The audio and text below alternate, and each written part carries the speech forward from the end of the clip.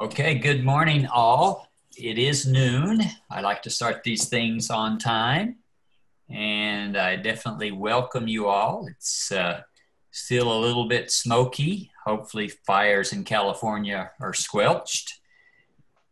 Uh, you're here for our 13th session in our Echo COVID 19 series. Now, the purpose of this has been to bring you, keep us all updated with uh, current analysis and advice regarding the very rapidly changing developments in the COVID 19 pandemic.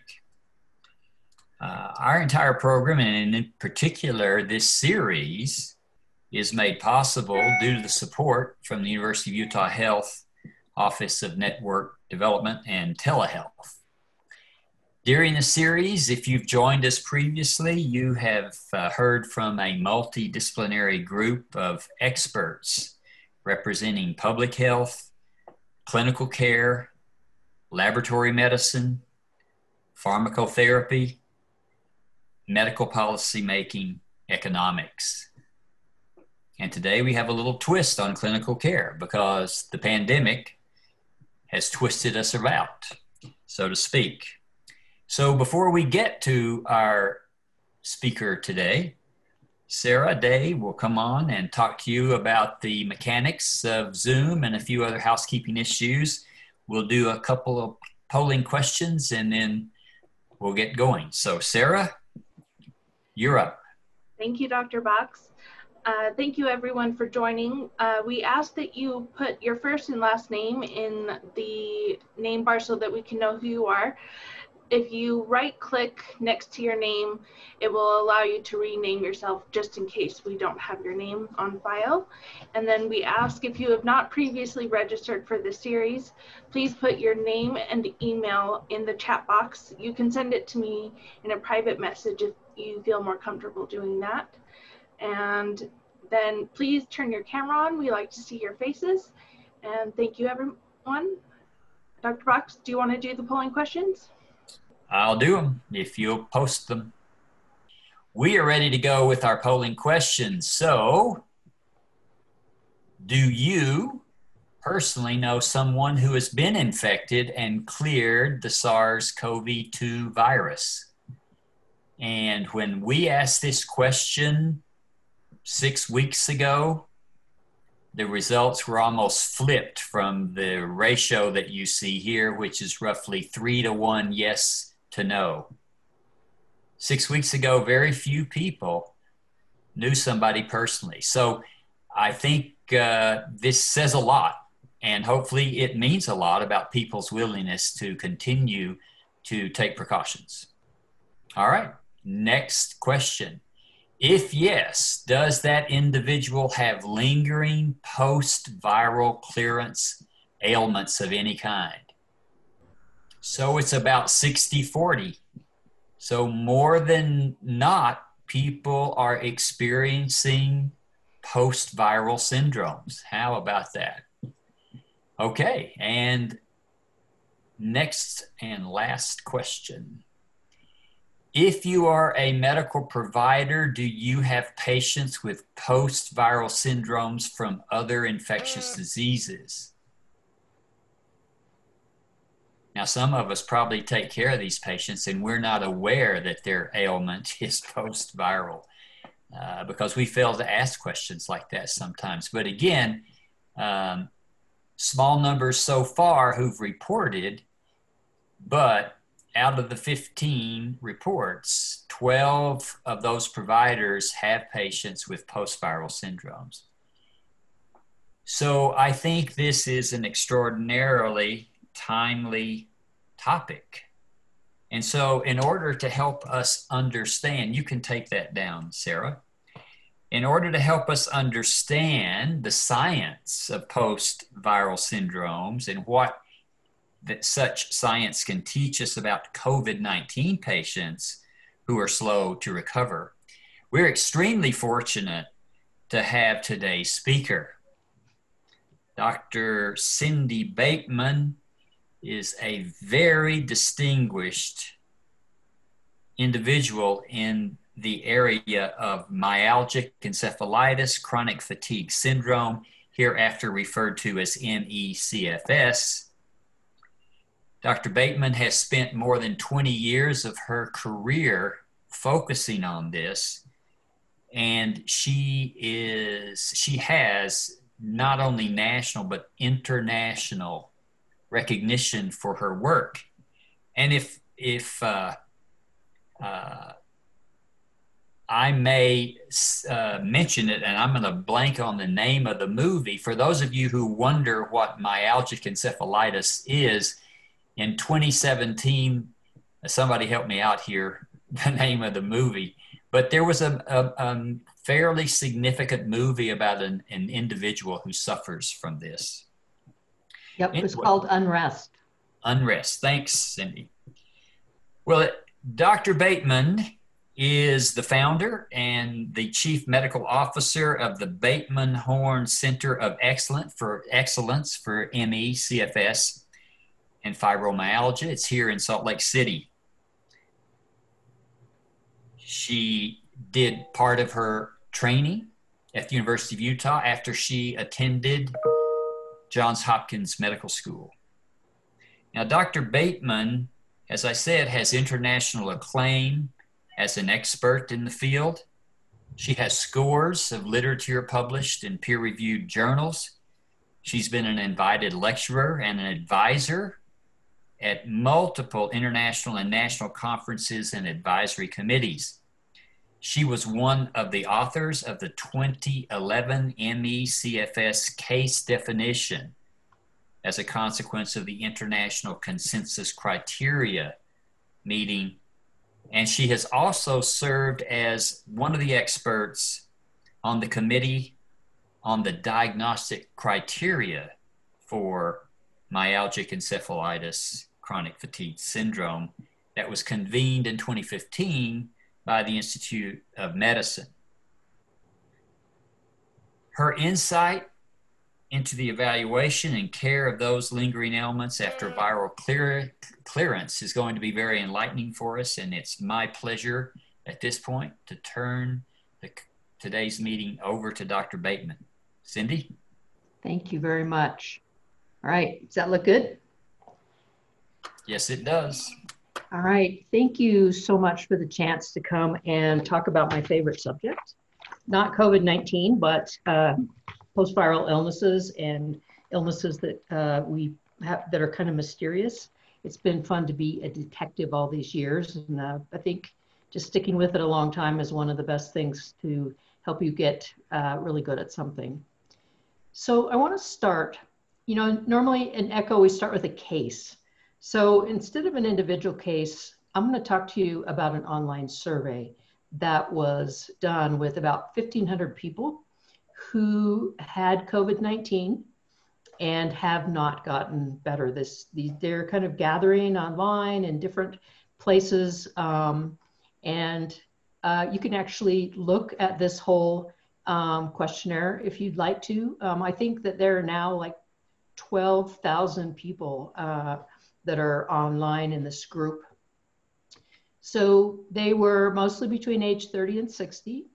And 54% of these patients who got together for this online survey had symptoms for at least three months lingering after their infection. But the most striking thing is that 41% of those patients said the doctors had not listened to or believed them. So this is sort of a reflection of uh, our lack of understanding in as physicians about the kinds of things that can happen after people have a severe infection or a viral infection. I took this uh, from that very same questionnaire and you know there were 1500 people just to remind you um, it's a really long long thing so i just put the first half of it up on the graph but you can see that the most common lingering symptoms among these patients are fatigue and fatigue is the predominant uh, symptom body aches, shortness of breath, cognitive difficulty concentrating or focusing, inability to exercise or be active, headache, difficulty sleeping, etc. And if you lump some of these, like memory problems and difficulty concentrating and some of the pain problems, you can see a picture starting to form. so let's look at this from a couple of other viewpoints. Um, this was a study uh, published by researchers at the Centers for Disease Control uh, in their MMWR uh, morbidity and mortality weekly report. And they queried patients who had been um, seen in outpatient visits at 14 academic healthcare systems, and there were 292 respondents. So these aren't hospitalized patients. These are patients um, not necessarily hospitalized. These were people who had a test and were seen by a clinician. And the interviews were done somewhere between two and three weeks after their positive test. 94% had symptoms at this at the time of testing. That makes sense since that's probably what took them into the doctor. But 35% of these respondents have not returned to their usual state of health um, in that two to three week period. And you can sort of see the distribution by age, and mainly they're reporting cough, fatigue, shortness of breath at the time of testing. So this is a really important early study, but it is quite early. And um, we have yet to see longer term consequences. This study was done in Italy, but published in JAMA. And 143 patients uh, who had been discharged from the hospital with COVID. So they've been sick enough to be in the hospital. Uh, brought in medical assessment, detailed history and physical, data, history, everything. Um, it had been an average of 60 days since their first symptom.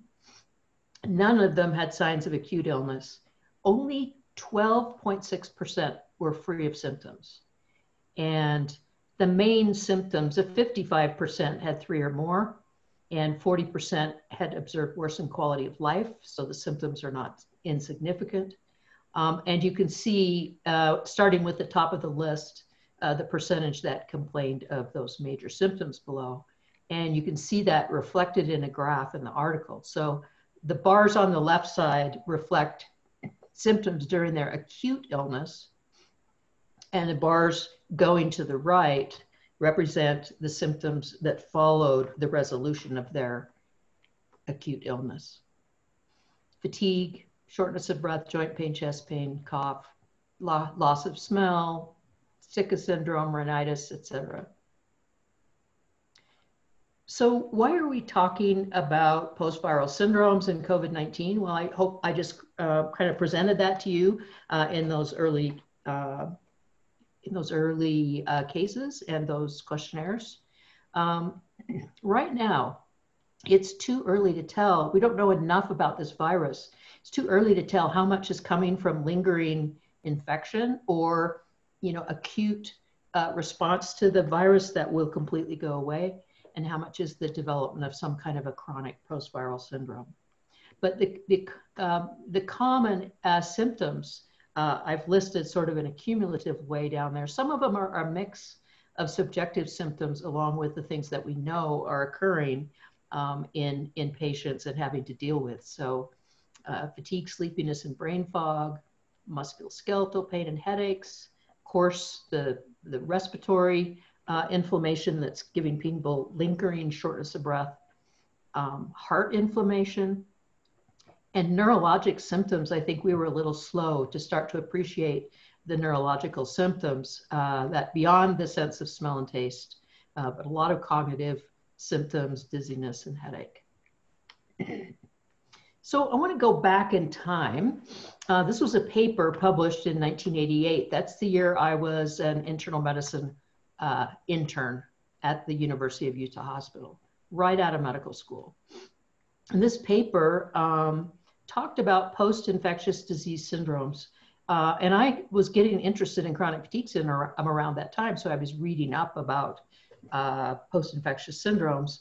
And in the article, it addresses these major illnesses that we know come from various kinds of infections. So as I was desi- as I was going to use this in the talk, and then I kind of went back and I decided to make in blue print the ones we now have vaccines for, and and in green print the ones we now pretty do a pretty good job of having some kind of antimicrobial to take care of, so antibiotics or antiviral drugs. And you'll see that a lot of those things have uh, maybe we're not seeing as much of it. I don't know, you know, what we're seeing in the clinic. But what I want to show you is if you take the same list and highlight the leftovers, they're basically vaccine reactions and herpes and uh, herpes family viruses, along with common viral infections. And remember, this was done a long time ago, so we know a lot more about viruses now. Um, but I think that's pretty stark. There may be a reason we're seeing an emergence of post-viral syndromes from things that we don't have drugs for and don't have vaccines for.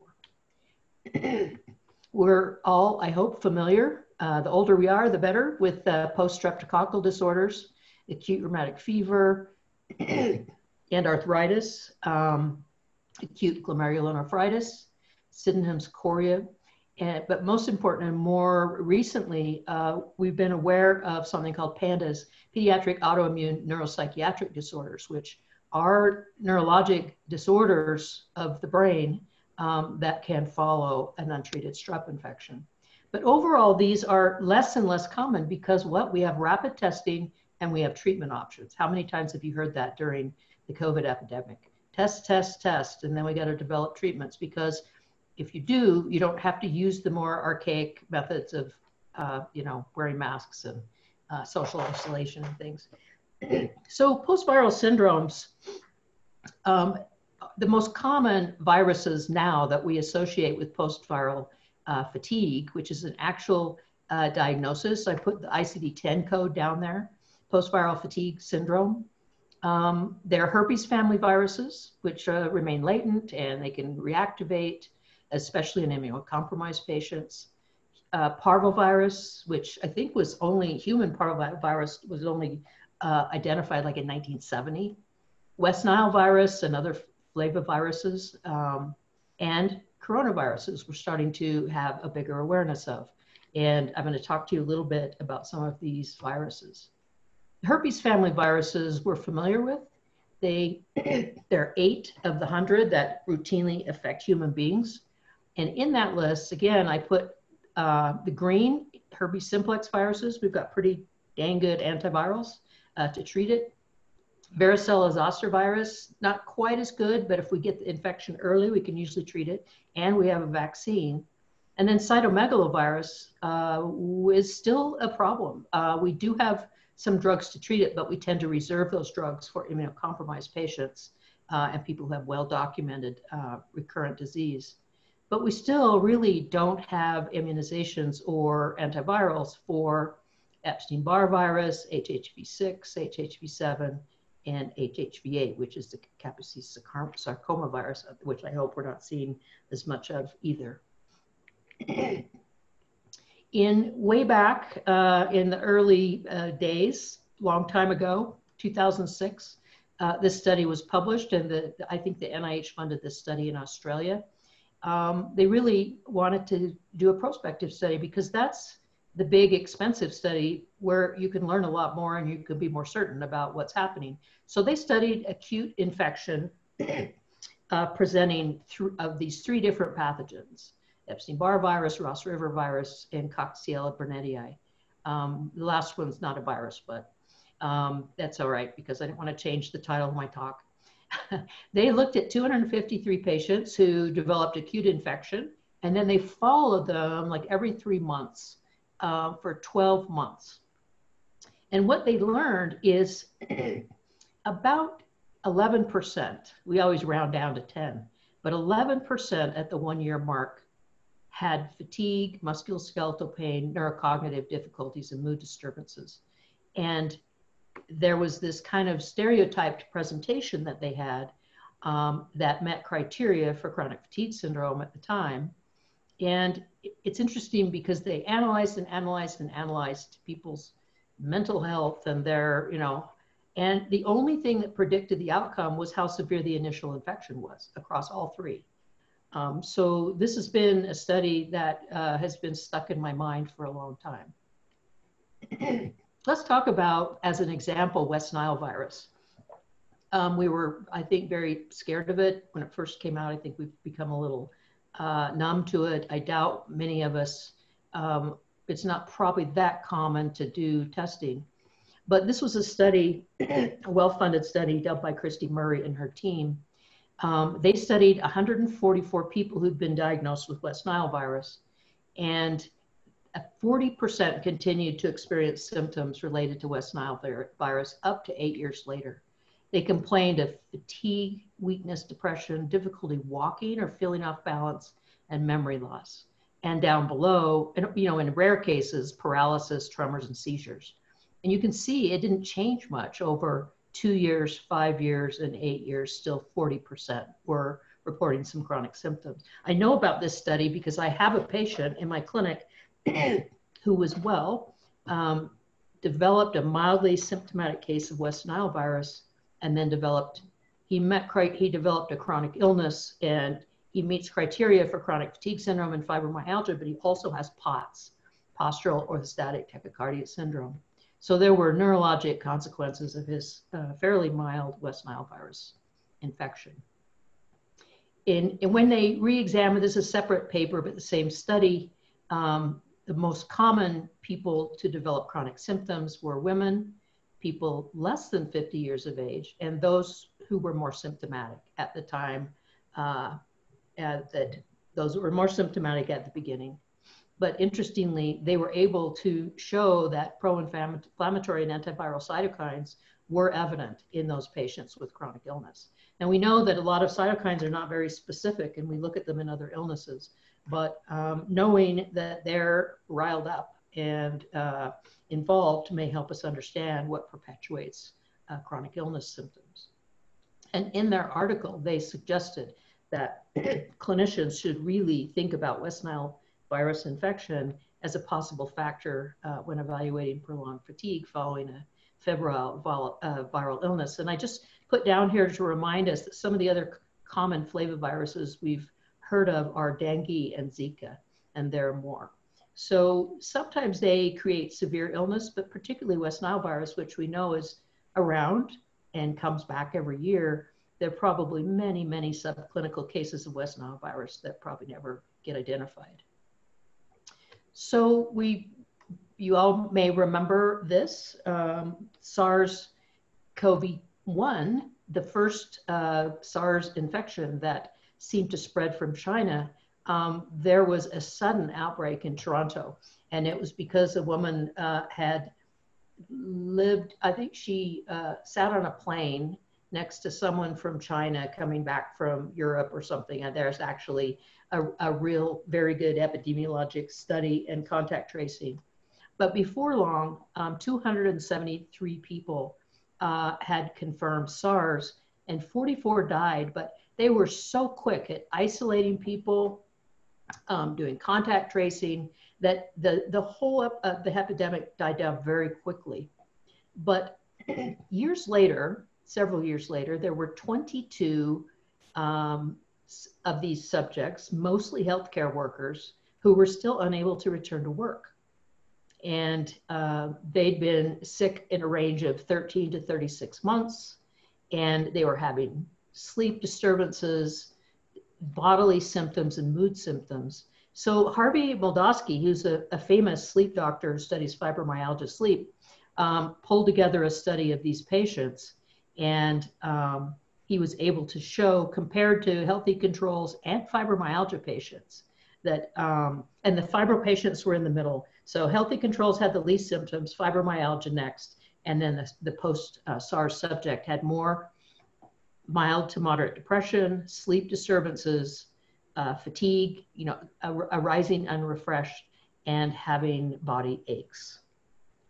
He called it uh, fibromyalgia, but uh, we know that maybe these labels need to be broadened a little bit uh, in how we look at post-infectious syndromes. So I want to talk very briefly about ME/CFS, myalgic encephalomyelitis chronic fatigue syndrome.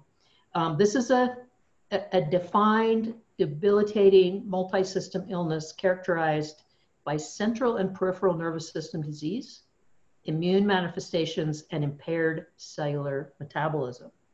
we think it is a post-viral or post-infection syndrome, but as we've talked about, sometimes it's really difficult to capture what makes people sick in the beginning. Um, and down the road, there's no evidence of the virus if the virus is cleared or latent or somehow hard to find. And not all post-viral syndromes end up with this severe, severe multi-system debilitating disease, but it does exist. It's well-defined and well-studied. so let's go back to a cumulative case report. Um, this is a, a study of uh, a, a, good study that was done out of uh, Stanford, uh, and they have a pretty big chronic fatigue syndrome clinic.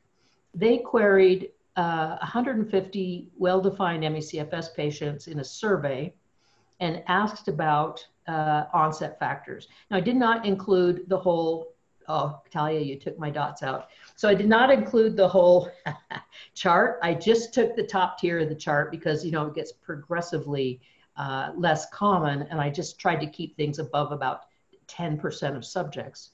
But you can see that the majority of people relate the onset of their illness to an, an infectious illness and having a lot of stress or major life events.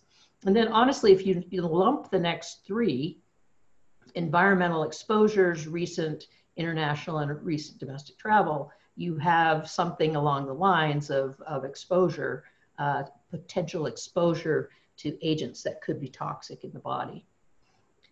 If you just look at the patients who reported an infection as the thing they think started their illness, it's kind of stratified pretty, e pretty evenly around upper respiratory infections, a well-defined um, infection that we, you know, got a test and was established, like uh, Epstein-Barr virus, for example, and then a group that just had a had a flu syndrome that was maybe bigger than just you know an upper respiratory and then there was kind of a lump group.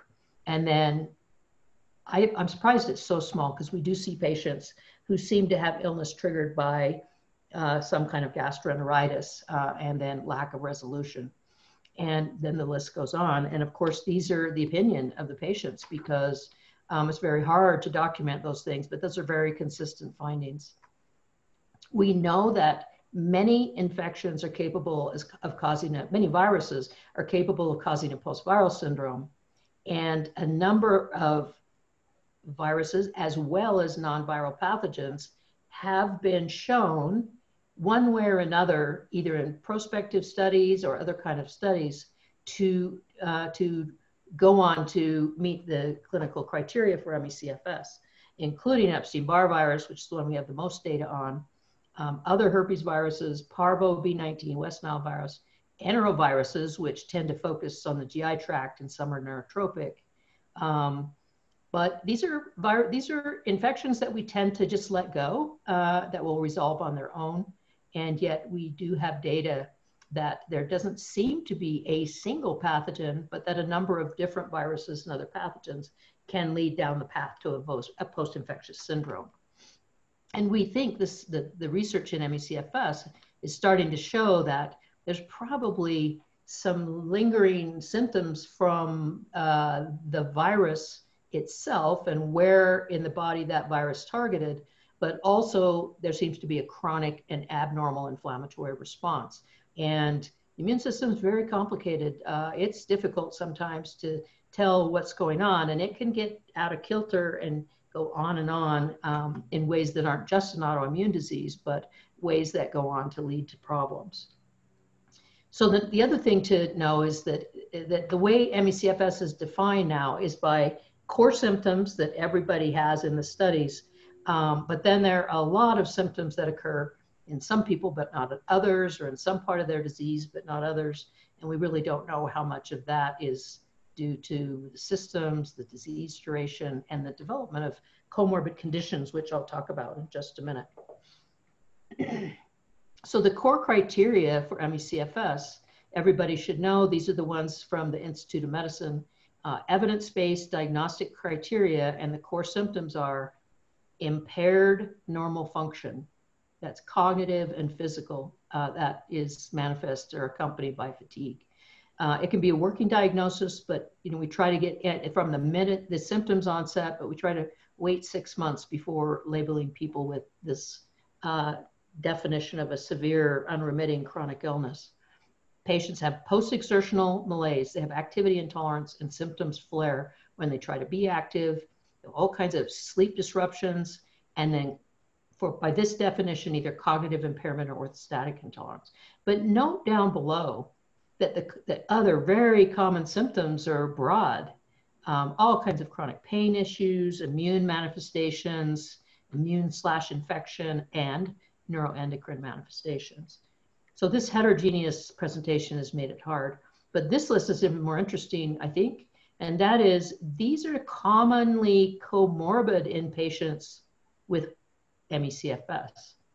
And we don't really know how much of it is core to ME/CFS and how much of it develops because of this chronic immune dysfunction leading to pain and neuropathies and neuroinflammatory changes and uh, sleep and autonomic problems and all kinds of allergic and autoimmune diseases uh, affecting multiple systems. But these are all uh, disorders. And by the way, if you see someone with ME/CFS, these are things you can latch onto and treat these comorbid conditions. And you know, you don't have to lump ME/CFS into one big category and say there's nothing we can do for you, because there are lots of things that can be done to treat these comorbid conditions.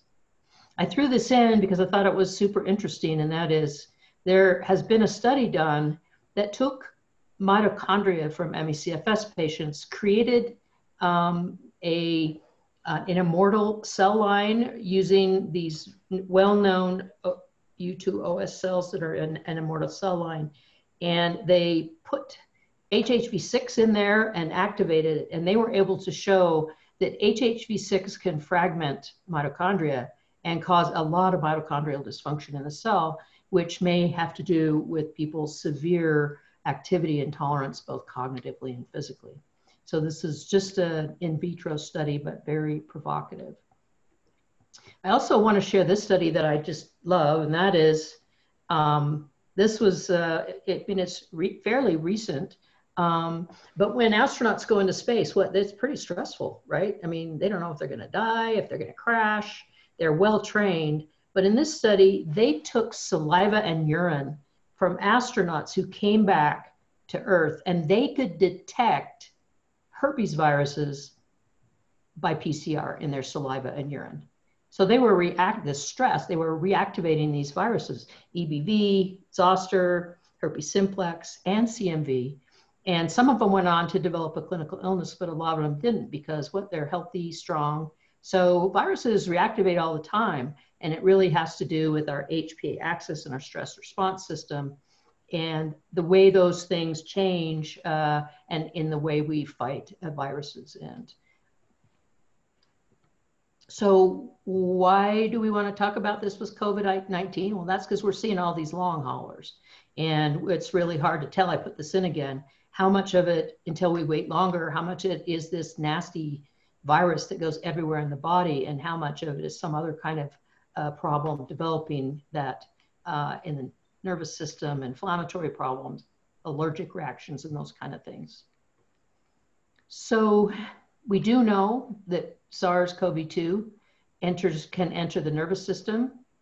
It can be entered through the bloodstream or the peripheral nervous system through axonal tra transition. We have evidence of it impacting the olfactory nerve and trigeminal fibers. And uh, the vagus nerve is also a very common portal uh, for the virus. And of course, it can go everywhere that your blood goes because of ACE2 receptors lining blood vessels. And um, I was reading through papers about uh, neurologic and cognitive symptoms, and this is an interesting paper. It's called Are We, it was early, but it said, Are we facing a crashing wave of neuropsych sequela of COVID 19. And they discuss in the paper how not only viral infiltration in the central nervous system, but what cytokines do, um, peripheral immune cells coming into the CNS, post infectious autoimmunity, and I threw neuroimmune in there, which is kind of what I think the other one means, and gut microbial translocation and the way the gut relates to our immune system. A paper that just barely came out, this is a preprint uh, looked at the lymph nodes and spleen of people who died from COVID.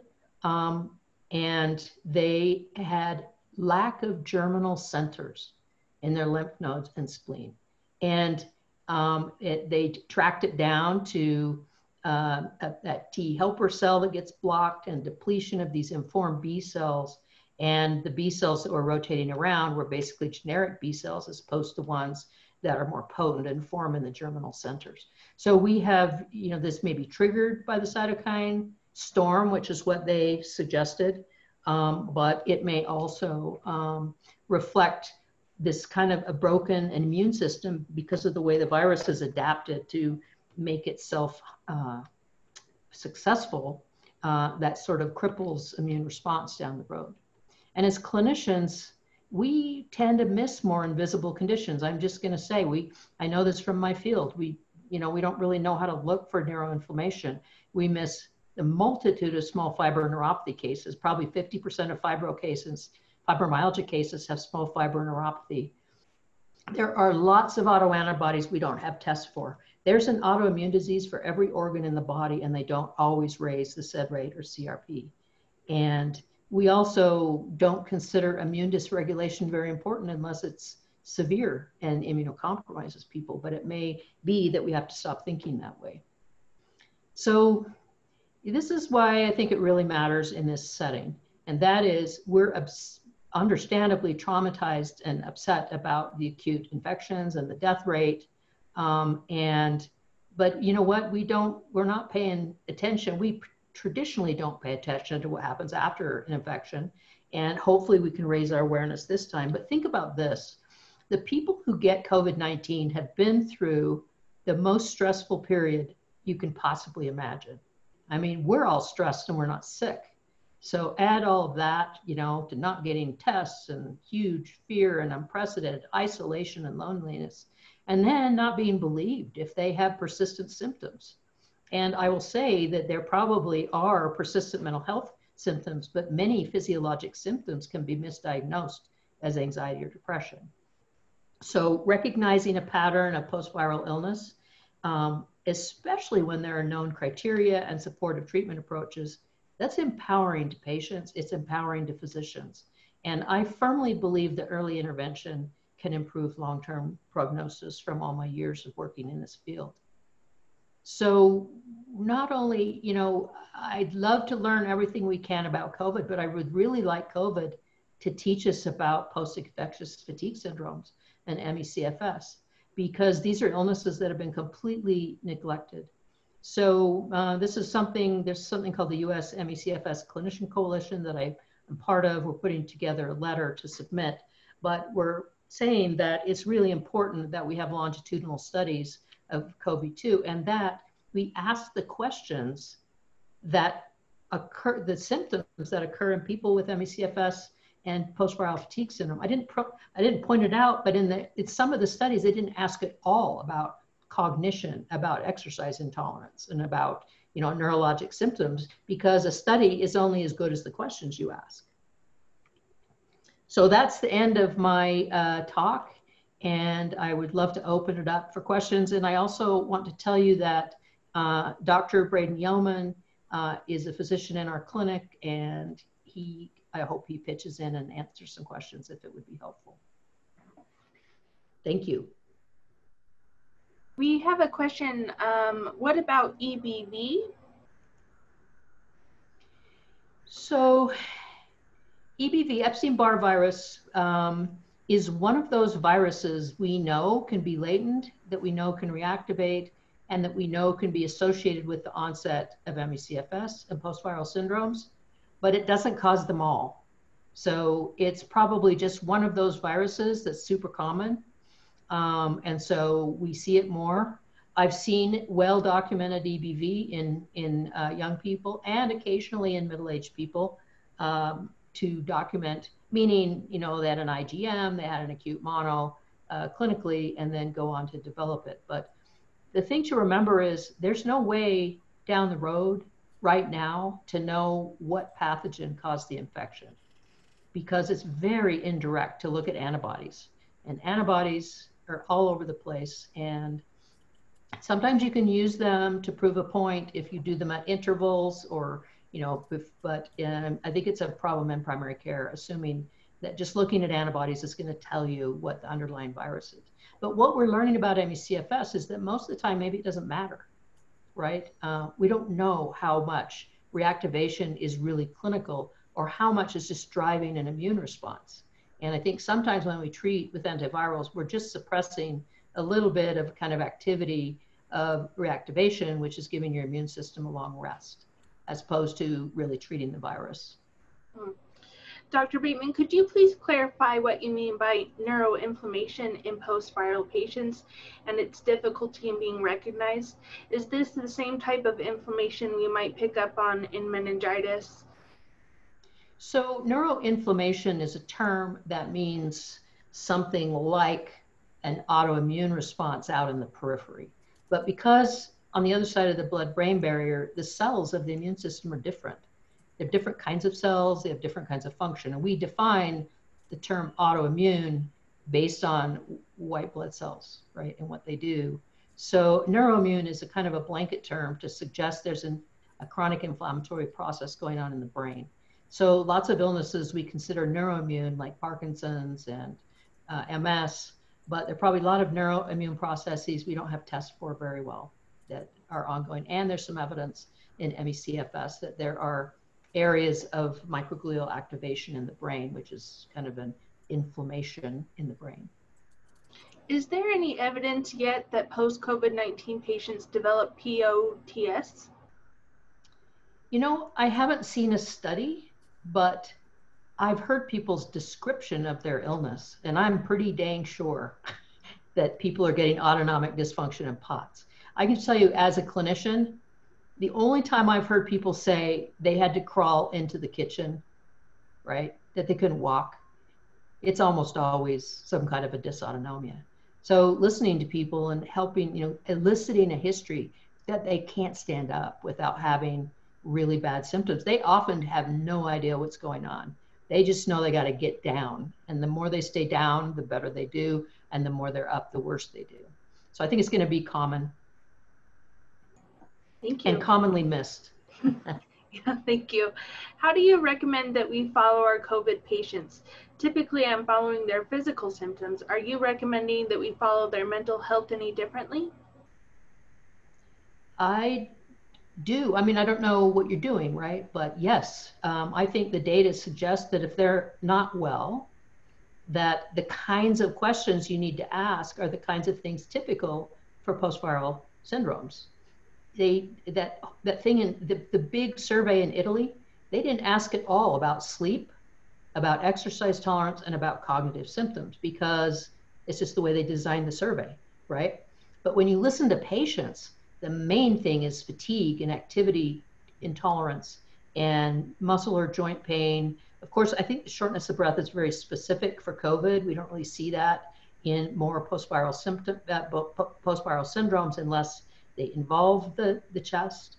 Although you can get a lot of chest symptoms with POTS and orthostatic intolerance, and sometimes people get treated over and over and over for asthma when they, what they really have is POTS or orthostatic intolerance. So those symptoms and the mental health problems, there's just a article published in the Salt Lake Tribune on Sunday, really good article about a big survey about mental health, not just in the US, but around the world. And this has been devastating people. It's super stressful. And uh, hopefully it'll pass as the crisis passes. Um, what about cognitive screening using simple tests? Um, you know, it's it's hard to get the right kind of cognitive screening because we tend to do so much mental health screening.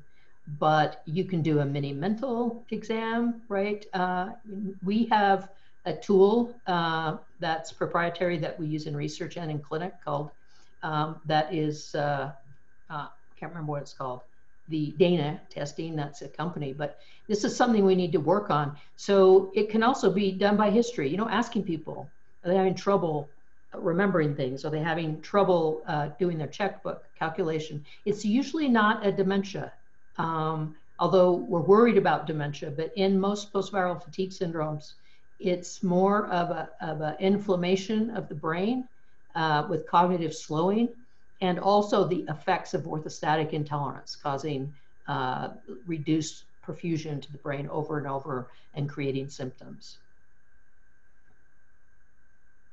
You have to ask though. Um, how helpful is LDN in these post-viral patients? So, you know, there aren't a lot of publications yet about LDN, which is low dose naltrexone. And so I can just speak from experience. And I will say that I consider low dose naltrexone in ordinary, there's nothing ordinary about fibromyalgia, but pretty straightforward fibromyalgia, uh, you know, which is muscle aching and stiffness and fatigue and uh, a lot of pain amplification and brain fog and sleep disturbances. And if you, and the function is usually less impaired. Um, and if they can push through, they can create a lot of symptoms, but and they're kind of miserable, um, but not as bad as people who meet ME/CFS criteria. And those patients respond, I think, if we did a trial, it would be as good as the fibromyalgia FDA approved drugs. Because, you know, I prescribed those drugs for a long time. I did as part of the clinical trials. And LDN is, is awesome. It's a very useful tool. How useful it will be for other kinds of neuroinflammation, I think the jury's out. But the kind that tends to lead to hyperalgesia and pain uh, seems to be a great tool. And it helps keep people away from opioids, which are not very effective because higher doses are needed and tolerance develops and then trying to come off is a nightmare because it you know worsens their illness symptoms Dr. Bateman, in your experience for the last 20 years, when people present to you with chronic symptoms of fatigue, how often do you find that they personally recognize that there was possibly an infectious process and that everything changed after that versus how many of them only recognize that they may have had an infectious trigger after you ask them as a clinician? You know, that's a good question. Um, I'll say that in the early epidemiologic studies of chronic fatigue syndrome, um, there was a big bias toward post infectious. And they also were mostly, mostly Caucasian and mostly women. and so it was kind of called the, the yuppie flu. And what we've learned is you can't do epidemiolo- epidemiologic studies using patients from doctors' offices because the selection bias is tremendous. Um, so they're much more able to fend for themselves and get into the doctor and be verbal and you know communicate. Um, later epidemiologic studies of ME/CFS showed that it was actually higher in uh, lower socioeconomic groups and across other ethnic uh, backgrounds. And so if you think about what's happening right now with COVID, right, that there are people um, we know who are higher risk.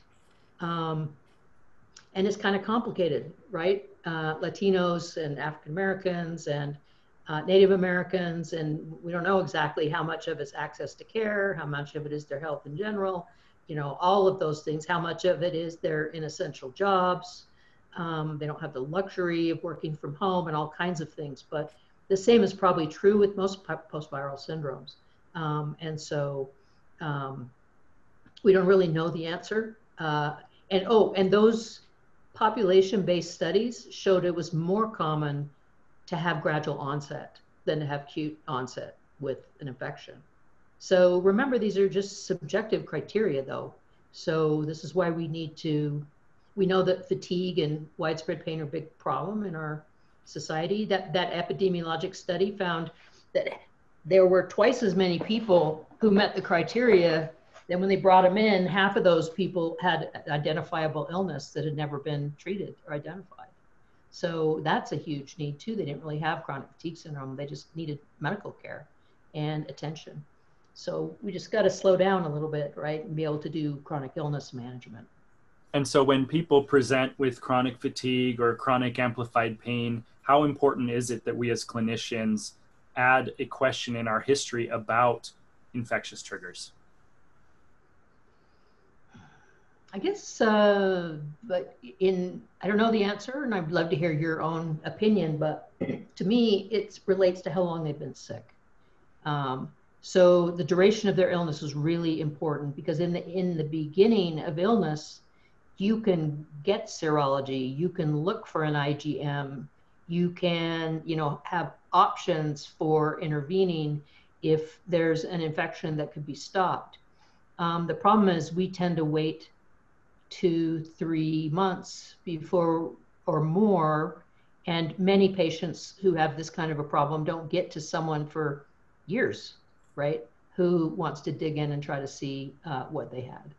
So the longer people been sick, probably the less relevant it is. Um, I will say that I have a, a, few rare patients that I think actually have reactivating herpes viruses driving their illness. But that's pretty uncommon. But we can tell, I mean, you know, they get symptoms, low grade fevers, tender lymph nodes. And when we put her on antivirals, you know, she just got better right away. But that is by far a very small minority. Uh, Cindy, you mentioned a link to OCD Tourette's mm-hmm. from prior infection. Mm-hmm. How well is this documented, and is there anything that can be done, or is this a non changing insult to the neuron? That's a good question, and it kind of gets out of my uh, area of expertise because it's mostly in pediatric age group and it's mostly post-streptococcal.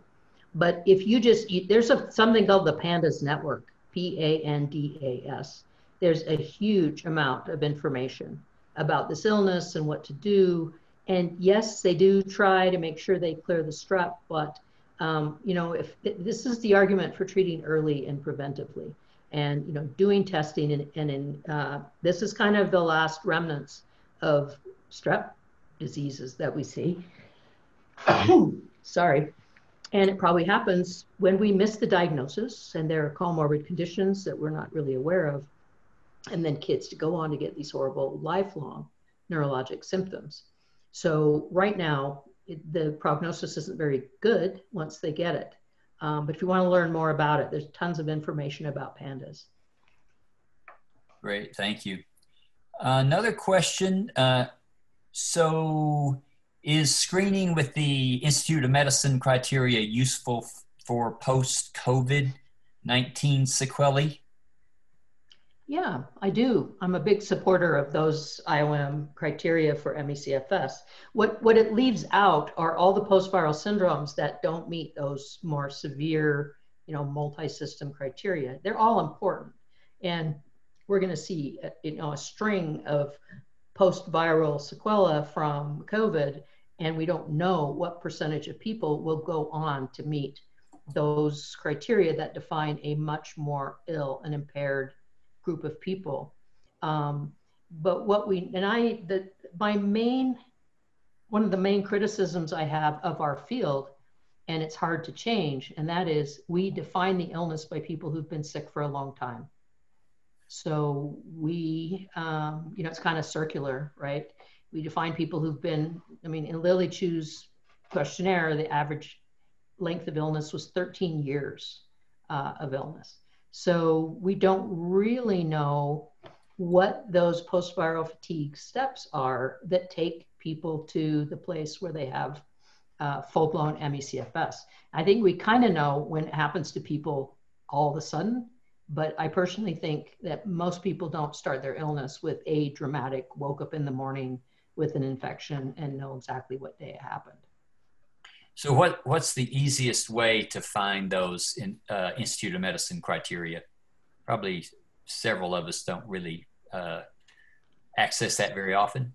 Right. Um, you know what I would suggest, and uh, there's a little bit of self-interest here, but we've worked a lot on it. Um, our website um, is batemanhornecenter.org is an educational website. And if you go to this, the tab that says provider resources, we've got links to everything. Um, the best way to find it is to put the title in Zoom, but you'll have to write it down. It's Beyond Myalgic Encephalomyelitis. What's the rest of it? That's okay. You can get it. I'll copy and paste it in the chat. Yep. Okay. That's great. But no, I'd, I'd really encourage people who have an interest. This is aside from COVID, but we think applies, Um, if you're interested and you want more resources about MECFS, we've got a, a wealth of resources now on our website, mostly links and references and, you know, some of the most up-to-date uh, information that might be interesting. Dr. Bateman, our last question is, are there common clinical signals that are, sorry, uh, that are observed in patients with post-infectious syndromes? So yeah, I mean, I think it's the things that we saw in those studies. Um, and it's sort of, you got to kind of put together the, the studies done by doctors and the reports by patients because, you know, the ones done in a medical setting, a research setting, they choose the questions and I think they've missed some. But patients reporting their symptoms, you know, that those numbers are getting bigger and bigger. And I think those are the things we need to look for. And I think most of us in our clinic believe that instituting supportive care is really important from the beginning. And one of the hallmarks of ME/CFS is exercise intolerance. And you know, we would advise people not to push the envelope until they're better, because lots of people are experiencing COVID or finding it's very difficult. Uh, they feel okay for a while, sort of like when you're getting better from the flu, but then you get up and try to do things and you're back in the bed again. So um, maybe allow your body to completely recover before you start to stress it again. Well, thank you very much, uh, Cindy. This has been a spectacularly informative hour. And thank you for your expertise and your willingness to come and talk to us today. Um, and uh, I'm sure if this goes on long enough, which it may, we'll have to have you back. So anyway, yeah, we'll come you. back and talk about treatments down the road. How's that? Yeah, when we get that far, uh, that's great. And uh, thanks to all of you for your attendance today.